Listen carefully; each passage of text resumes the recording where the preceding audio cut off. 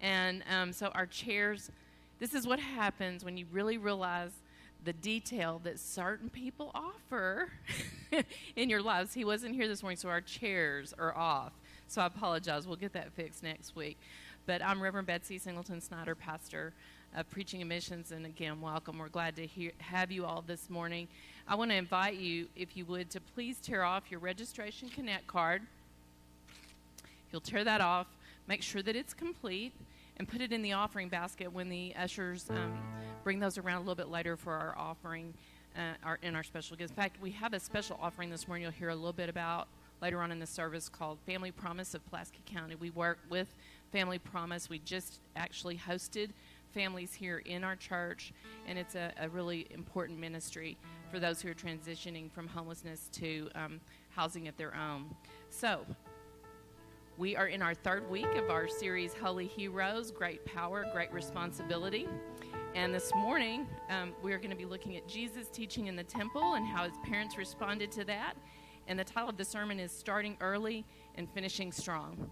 At this time, I would invite you to stand if you would. Sorry, this. and Pamela Marquez this morning um, is one of our interns and we're so glad to have her assisting us with worship this morning, and she's going to lead us in our corporate prayer.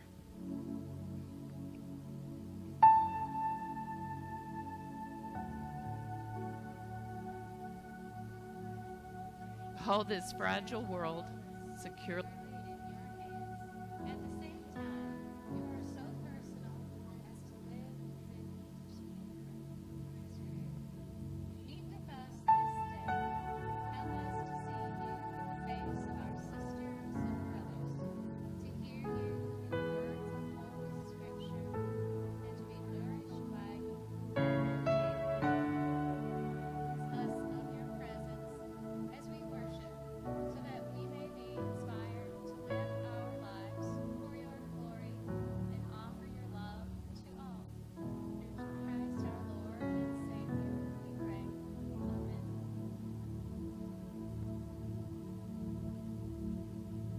Um, let us pass the peace of Christ to our neighbors, one to another, and welcome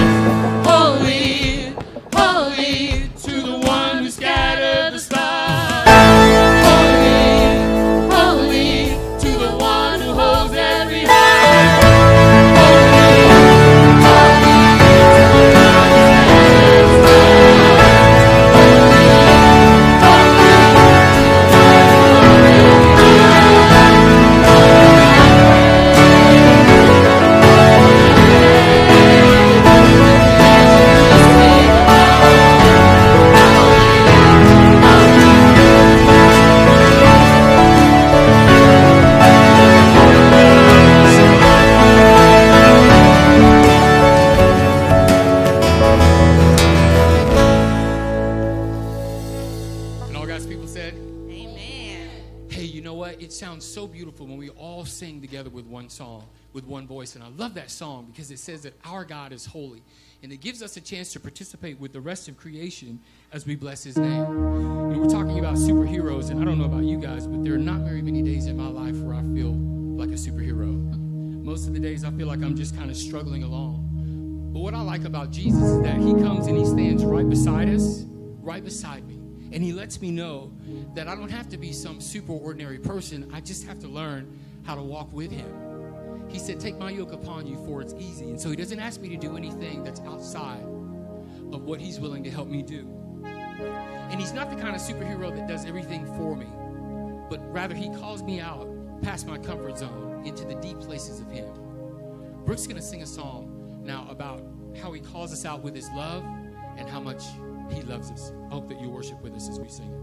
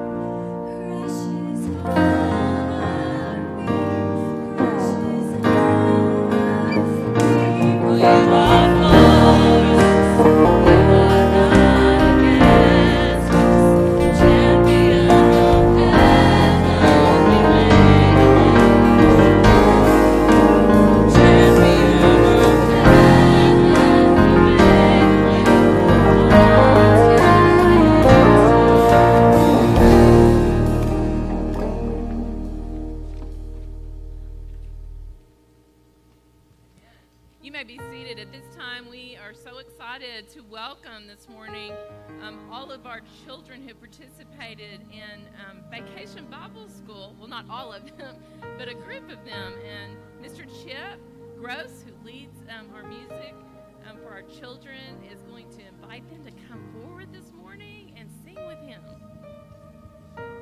Hey guys. Okay, I need all my people from VBS to come on up here. We're going to do our song that we know that we love, that we jump and we have fun and we dance around. I think you know it. We're going to go like, and then we go like this. Okay? All right. So we're all going to come up, and I don't know. Yeah, well, I think, okay, let's go. Congregation, let's let you decide. Would you rather see me jumping around and see my face, or would you rather see their faces as they're jumping around? And maybe I'll be over there. So I'm going to come over here. I want everybody to be on the top right over there, and you have to be really super careful because you're on steps. Okay? So when you're jumping, how about we just jump in one spot and we don't try to do too many superhero things? Although a little is always good. Okay. Now, uh, this song that we're about to do, this is a theme song for VBS this past week, which was all about how we are God's superheroes. He gives us strength to do amazing, wonderful things. Of course, um, as was shared just earlier, God gives us all that we need to accomplish those things, right? They're all decided beforehand. But uh, this is a wonderful song. It's short. I'm going to give you a brief little teach of the moves, okay? It's like a 10 second thing, and you can do them with us. So we're going to start the song, and uh, it's really simple. But at one point, we're going to say, what do we say first? Jump into the action. Let's run the race. We're going to go like this with our arms. You can watch me and just do this. Jump into the action. Let's run the race. And then we're just going to kind of, since you're in your chairs, maybe you won't get up. I don't know. It's early in the morning. But you just sort of shift back and forth. Okay? Um, you just watch me and you get it. All right? Let's do it. You guys ready? I love this song.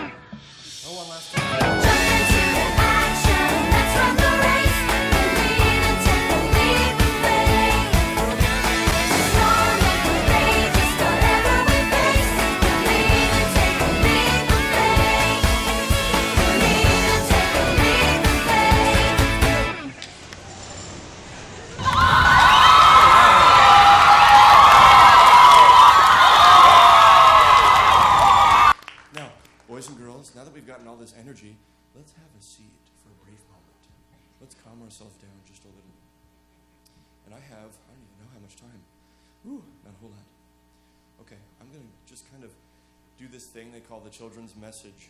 Should I sit with you? That's what they usually do, right? I don't know. Maybe I'll just walk around. I like to walk around, be on my feet. So I was thinking, leap of faith. That's an interesting bunch of words.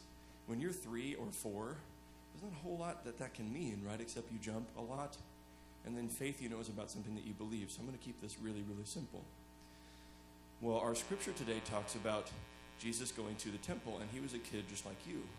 Um, in fact, he was a little tiny baby, and he grew up and became a kid, and then he grew up and became a young man, and then he grew up and he became a man, right? So he was just like all of us in that way. And when he was about 12 years old, which is a bit older than all of you, he went to the temple, and his parents left, and he stayed there, and they didn't know that. Oops. Now, has that ever happened to you? Where I hope not. Where you, your parents went away and you were still there? That's happened to me, believe it or not. I remember one time I stayed and I told my parents, okay, I have a ride, you're good, you don't need to come get me. And then my ride canceled on me. And I didn't have a phone, I couldn't tell them. And I was stuck waiting at that place until about 8.30 p.m. I didn't know where I was. They had called the police, all these things, horrible things that happened, right? And out of that punishment, I got a cell phone. the point I'm trying to make is that my parents had to take a little leap of faith and trust God that I was okay, even though they didn't know, right? They had to call the police, they had to do all these things that were scary. And they found me right where they had taught me to be, which was right where they'd left me, because I just stayed there like a good kid and I followed them, right? But I also had to do some leaping of faith because I had to trust that they would come and get me, right? So that was a little bit scary, but God is good. And on top of that, I got a phone. So, um, I don't know, I'm trying to keep it simple for you, but no matter what happens in your life, no matter what, it may be scary, but you can trust God. He is really good, and He knows exactly what you need, and He's got you covered. Okay? Can we bow our heads and put our hands together? And we'll just pray for just a moment. You guys did such a good job. I'm so proud of you. Okay. Heavenly Father, thank you for how good you are. Thank you for the, the fun week that we get to have, meeting friends and singing songs and dancing and jumping around. Um, but thank you, first and foremost, that, that you are so good, that you always look after us. You have good, good plans for us, and you always will help us achieve all the things you ask us to do. In Jesus' name, Didn't give a? Can we give them a round of applause? Here. A little hand for the kiddos. Bye. See you in a minute.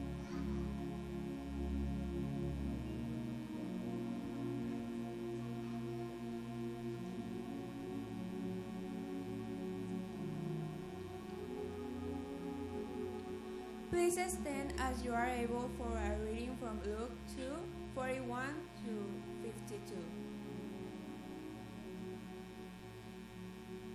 Each year, his parents went to Jerusalem from the Passover festival. When he was 12 years old, they went up to Jerusalem according to their customs. After the festival was over, they were returning home. But the boy Jesus stayed behind in Jerusalem. His parents didn't know it, supposing that he, he was among their, their band of travels. They journeyed on for a full day while looking for him among their families and friends. When they didn't find Jesus, they returned to Jerusalem to look for him. After three days, they found him in the temple. He was sitting among the teachers, listening to them and putting questions to them. Everyone who heard him was amazed by his understanding and his answer. When his parents saw him, they were. His mother said, Child, why have you treated us like this? Listen, your father and I have been worried. We've been looking for you. Jesus replied, Why were you looking for me? Didn't you know that it was necessary for me to be in my father's house? But they didn't understand what he said to them. Jesus went down to Nazareth with them and was obeying to them. His mother cher- every word in her heart. Jesus measured in wisdom and years, in his favor, favor with God and with and with people. The word of God to the people of God. Thanks be to God. Please be seated.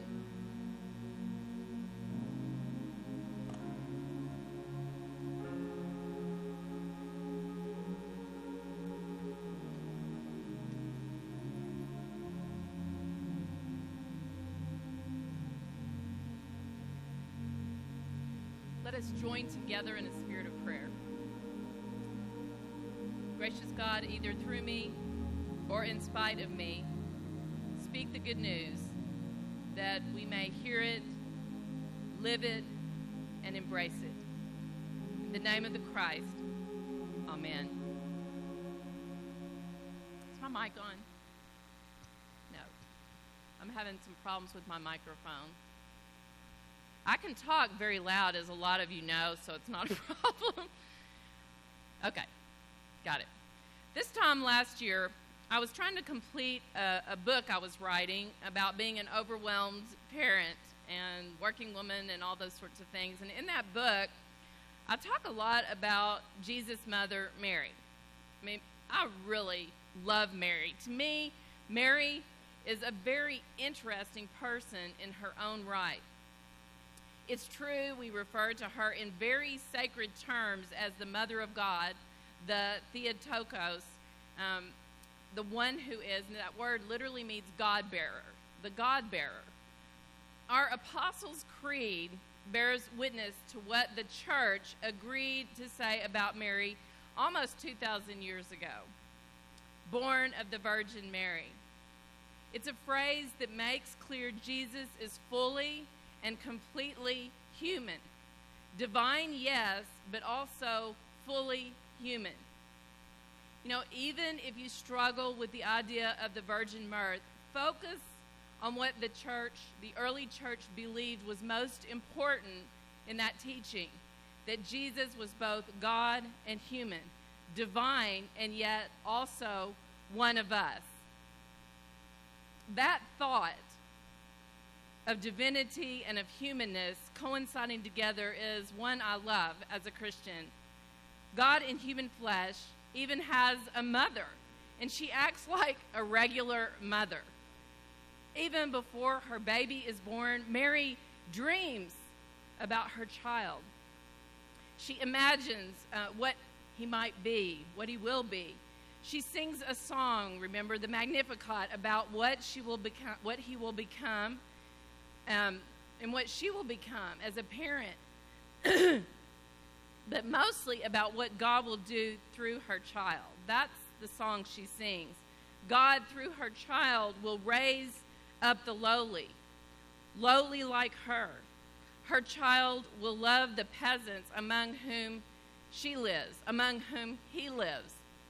God will do mighty things for those who are considered the least. That's her song, that's her lullaby. Mary is bold in her belief that this child will change the world. Now, I can't speak for everyone, but I think most parents hope their children will grow up to be people who are wise and who are kind and compassionate and make good decisions. In that regard, I don't think we're very different from Mary or Mary from us. At my home, as we've been talking about heroes, one of our favorite heroes at my house and one of the favorite make believe stories at our house is the Harry Potter series by J.K. Rowling. By the second book and movie, if you've only watched the movies, the readers know that Harry and his friends, Ron and Hermione, are regular children, all three of them. They're regular children who use their special gifts in very difficult and dark situations. And yet, they are not immune to correction from their professors, who will deduct points from their house if they misbehave, who will give them detention or correct them with stinging rebukes. In the second book or movie, The Chamber of Secrets, Harry and Ron miss the Hogwarts Express. You may remember that. They're late uh, to the train, and so they can't get to the school back uh, on time. Instead, they decide to take an enchanted flying car, the one that Mr. Weasley has enchanted against sort of Ministry of Magic rules. And they find themselves crash landing into the historic Whomping Willow, a very rare tree on the campus. They are fortunate they are not hurt or killed. I want us to watch this scene as Harry's friend Ron receives a howler from his mother.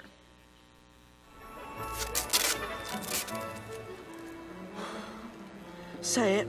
I'm doomed. You're doomed. Hi, Harry. I'm Colin Creevey.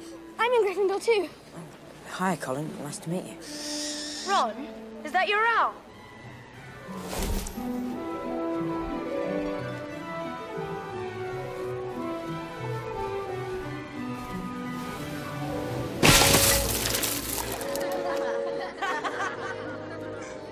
Bloody bird's a menace.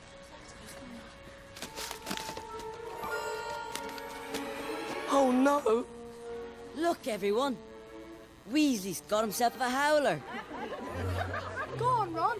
I ignored one from my gran once. It was horrible.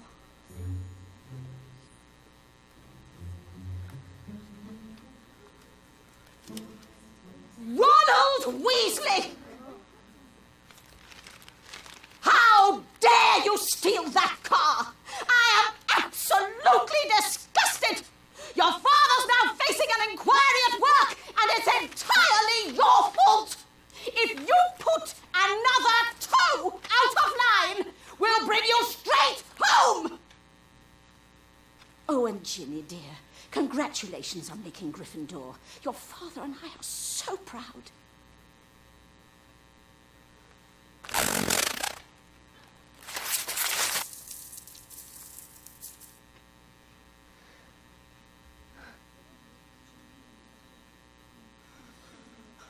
Well, sometimes we teach through modeling, and other times it may take a howler.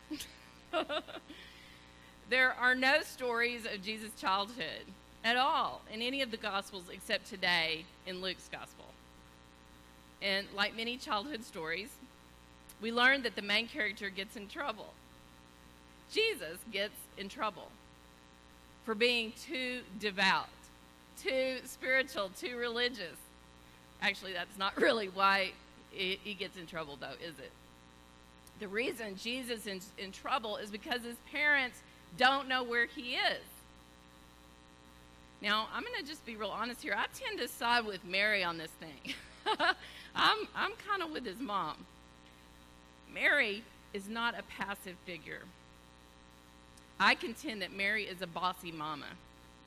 A lot of people see Mary as very is very passive. I see her as active all the way through her spiritual journey, including making a conscious decision after her son's ascension and after his after his resurrection and ascension to become a part of his movement. And it took some convincing before she did that in her heart. After all, that movement hurt her son. So, Mary is not a helicopter parent. She's already endured an angel's unusual birth announcement, a doubtful fiance, a barnyard birth, a nighttime escape to Egypt to protect her child from a crazed King Herod. All these things she's already been through. Imagine her thoughts when young Jesus goes missing them. Mary could do without her son's quiet departure from their large caravan. You know, in the ancient world, a caravan included thousands of people with extended family and friends. I used to think a caravan was like 50 people. No, no, it's thousands of people. It could be 20,000 as they share resources and move from place to place and watering hole to watering hole. So it isn't surprising that Mary and Joseph have lost track of Jesus in this crowd. He may be playing, they may assume, or he may be talking or hanging out with friends and other families he knows. He is, after all, coming of age. After a time, however, they cannot find him and must return to the temple. They go back to the place where all this started, retracing their steps, I assume. And after much searching, when they find him at the temple, Jesus is sitting in the thick of the adult teachers, listening to them, asking questions, and even offering some of his own thoughts and opinions. And Mary looks her rabbinical progeny, progeny in the eyes and says, Son, why have you scared us to death? You listen to me. Your dad and I have been worried sick. We've been looking for you everywhere. Okay, that's sort of my paraphrase. Jesus then gives his mother the polite brush off. Did you notice that? The one that signals he is beginning to claim his own thoughts and opinions about the world. Jesus says, Why, Why were you looking for me? Didn't you know that it was necessary for me to be in my Father's house?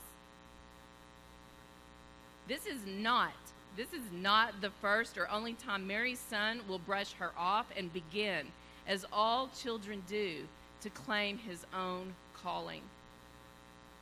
I think I may understand that space right now since I have an 11 year old where Mary finds herself as mother.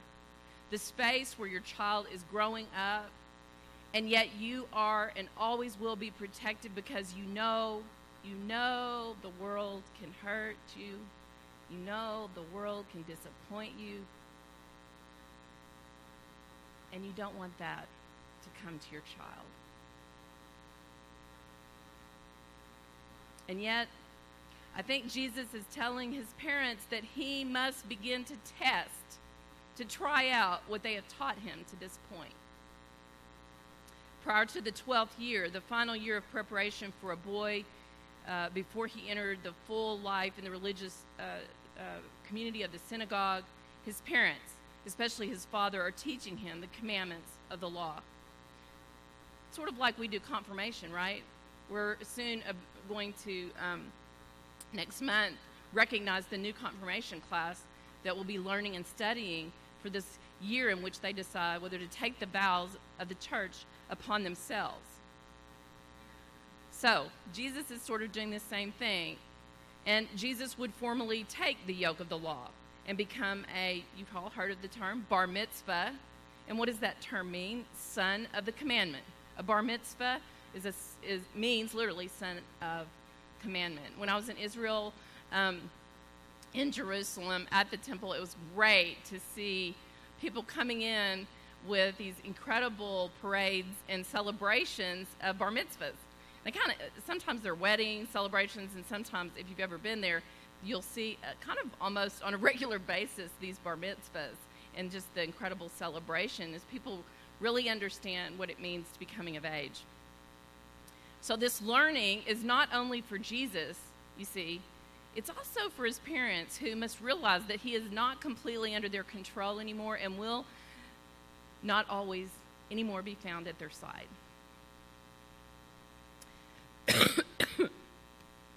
I'm raspy this morning, excuse me. This past week, I went to school. I went to sort of my own vacation Bible school, just like our children who participated in their vacation Bible school here at our church this week. And they were here, as you already have seen, learning about this story, the sacred story of Christ, and, and also the story of Jesus in the temple and other stories. They were learning about what it means to become wise. They were sitting with and actively involved with the teachers who love God. I think we had, so we had like over 400 kids, Miss Cindy, or 500, and then like 200 teachers and helpers.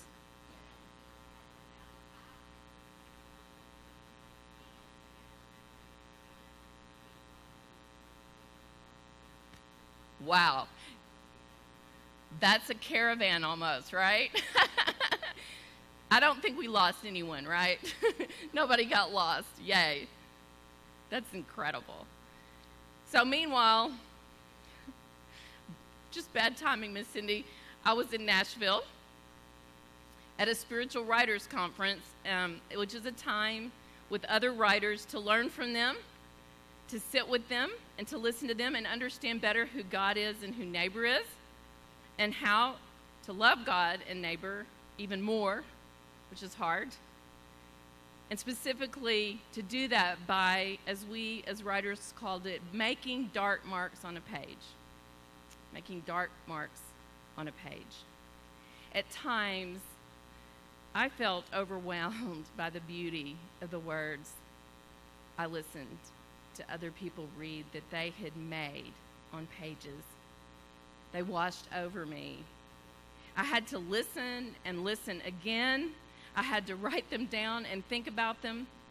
I will be studying them and reflecting over them for quite some time, I'm sure. Let me tell you who I was able to listen to um, Barbara Brown Taylor, who's one of my absolute favorite spiritual writers. I've been reading collections of her sermons since I was a pastor, a young pastor here in the 1990s. She's got some amazing collections, and um, That is me with Barbara Brown Taylor. it's like being in the temple. Um, and also, I was with um, another younger writer, Rachel Held Evans. And um, in fact, um, yeah, I look like a bow-legged cowboy, and I was. She's shorter than I am now, which is amazing. and I was having to to bend down to get my my face in there, um, so my friend Gail could take pictures. But it was so wonderful because you can go to the next picture. I was actually we could sign up for like 20 minute conferences with these women. And I signed up for a time with Rachel, and that is us talking about writing and about who we are as writers, and for me, who I would like to be and grow to be. So I was really thankful to listen to how they write what is spiritual. I was frightened for all I don't know, and I was humbled, and maybe I was learning some deeper wisdom, some of which I hope will, will help me also to love more and to help all of us love more. You know, it's so scary. It's really scary to learn new spiritual truths about yourself and the world. It can be really frightening. But that's how we grow in our faith, is to be thrown off a little bit so that we might ask the questions. The actor um, Idris Elba met with a group of people in a pub several years ago and asked them, What do you want to be when you grow up? Hello. Hi, nice to meet you. Nice to meet you too. Hello, Idris. Hello, Glenn. All right, Glenn. Christopher. Hi, Christopher. How are you doing? You Good, right? thanks. What do you want to be when you grow up? I like that. When I grow up. Thanks. Ah, that's a good question. Um, When I grow up, I'm quite well grown.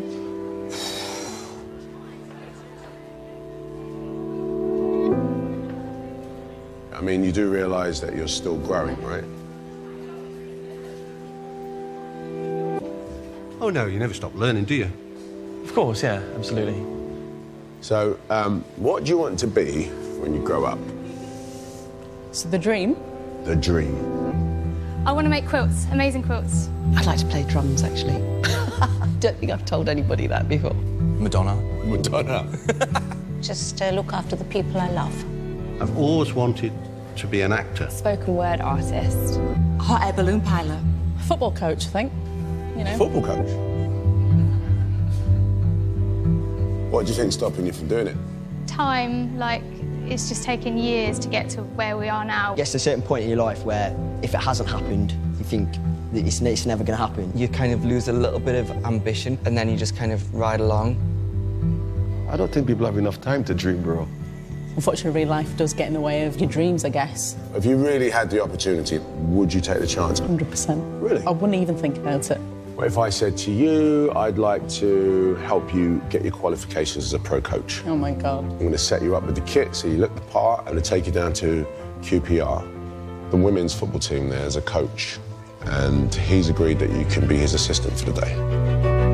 Martino? Hi, nice to see you. This is Noreen. How you doing? Nice, to meet you. You up for that? Absolutely. Are you sure? Thank you so much. Ah. Thank you. Let's go. When we're kids, we play, we think, we dream, but as an adult, we kind of like slow down very quickly. There she is. Myself and Purdey's, we think that people shouldn't stop growing and should always challenge themselves. Hold it there. Foot on the ball. Thank you, guys. Great. No matter what stage they are in life, people shouldn't stop dreaming. They should thrive on.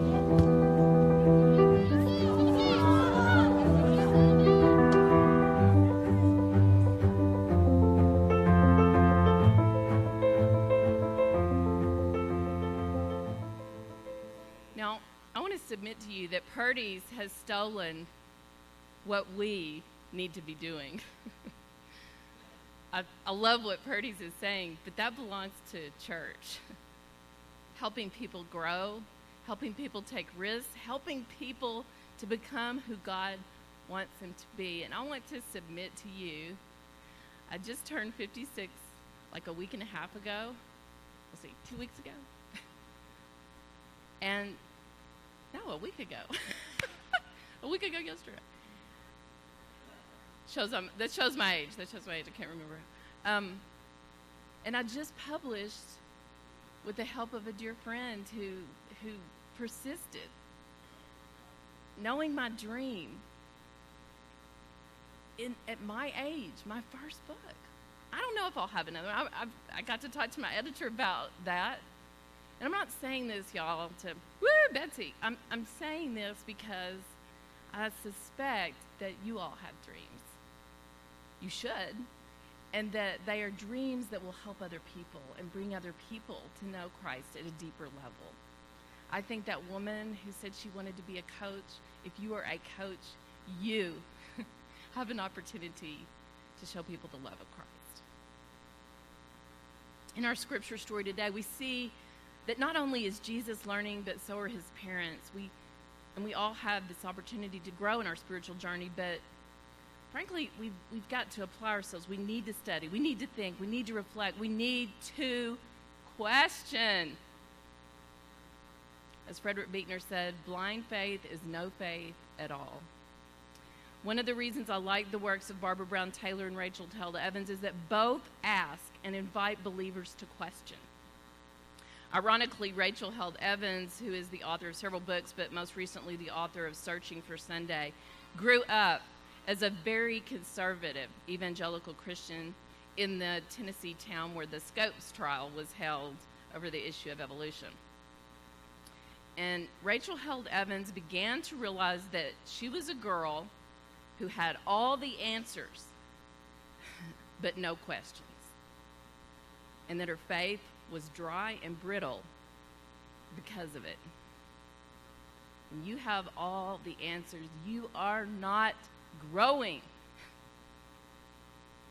We do not come to church to know the answers. We come to church to know the right questions. One of my favorite books by Barbara Brown Taylor, her most recent, is titled Learning to Walk in the Dark.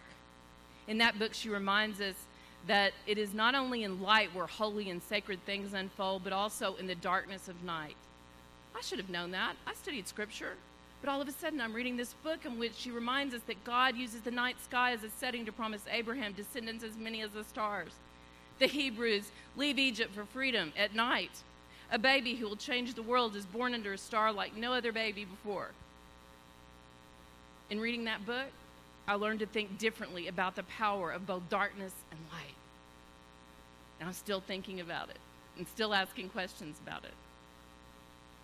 We follow Jesus, who sat in the temple, the sacred space of his tradition, and he learned from the adults while listening and also asking questions and offering thoughts of his own. I want to encourage those of you who work with children to remember this. When a child asks you a question you don't know, don't tell them a fake answer. Do not tell them a lie. Tell them, in all honesty, I don't know. That's interesting. I want to know more about that. Thank you for asking me. So we haven't arrived if we know all the answers. And we believe in our tradition as United Methodists that Christians never stop growing. We never believe we're there or have all the answers somehow set in literal stone. Rather, there's a fancy word that describes this process, and it's called sanctification. It's a big word, it's kind of an old fashioned word. But it is a word that means something very important. It means that we grow more perfectly in love and wisdom all our lives because salvation is a process. It's not a destination, it's a process of learning and loving and growing. So never think you know it all. I already know that. never think you know it all. That is the kiss of death, spiritual death. Instead, choose life and that is full of learning and wisdom and growth and a life committed to the truth to which we bear witness. And that truth is Jesus, the Christ, our Messiah, the risen one, the King. Thanks be to God. Amen. At this time, Pamela is going to come forward and share the list of concerns and joys for this week and share our morning prayer.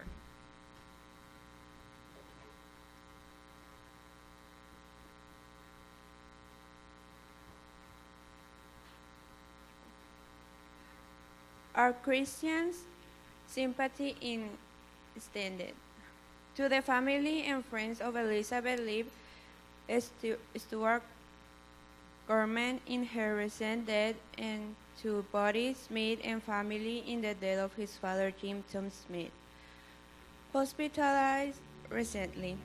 Larry Griffiths, Mary Woodlaw Harris, Wayne Jackson, Frank, Frankie Kierman, Troy Musi, Josephine Smith, Ines Stuckey, Gilbert, and Cam- Campbell.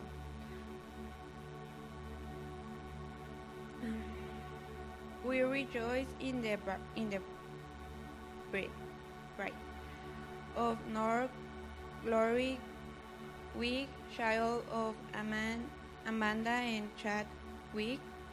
We re- rejoice in the baptisms of Olive, Olivia Ruth Wilson, Ca- Carson and Philip Wilson, of Greek Caroline Mar- Marcusi, child of Cra- Crystal and Andrew Marcusi, and to Caroline Kate Will Wilkerson, child of Rob, Robbie and James Wilkerson, and new members. Carol Carol Evans and Mar- Marilyn Michael Michael Michael T. Lord, thank you for this day. I pray that you bright bless, blessing over this church to help the hurting and the sick, for all of those in the hospital. I pray that they find strength in you. For those who have recently passed away, I pray peace to their families. It is in this time that we hear you the lo- loudest. But even in the good, you are still here. In the mystery of right, we thank you for your many blessings, and we celebrate you wonderful creations, the creations that inspire love, peace, and hope. Change us and mold us, Lord, to be the people you have called us to be, and hear us as we pray the prayer that you have taught us. Our Father, which art in heaven, hallowed be thy name. Thy kingdom come, thy will be done, on earth as it is in heaven. Give us this day our daily bread, and forgive us our trespasses, as we forgive those who trespass against us. And lead us not into temptation, but deliver us from evil. For thine the kingdom, the power, the glory, forever and ever. Amen.